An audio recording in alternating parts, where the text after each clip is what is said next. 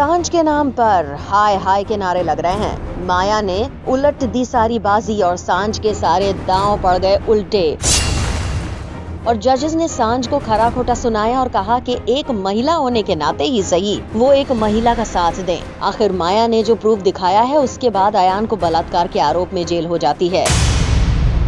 अब साँझ की हालत हो जाएगी खराब और सारी दुनिया हो जाएगी उसकी दुश्मन। मीडिया से लेकर महिला आयोग के संगठन भी उसके विरोध में खड़े हो जाएँगे और साँझ माथुर के खिलाफ नारे लगाने शुरू हो जाएँगे और महिलाएँ उसे पकड़कर कहेंगी कि साँझ कैसी औरत है, जिसने भरे कोर्ट में माया के कपड़े उतरवा दिए और उसके बाद ये महिलाएँ तैयारी करेंगी साँझ का मुकाला करने की। और आने वाले एपिसोड में साँझ के साथ जो होगा वो बहुत डरावना है। अब साँझ की मुश्किलें बढ़ाकर माया मन ही मन खुश हो रही है और उसके चेहरे पर जीत का एहसास साफ़ साफ़ दिखाई दे रहा है। वाह माया, आखिर तुम्हारी माया के आगे सब सच झूठ हो जाता है।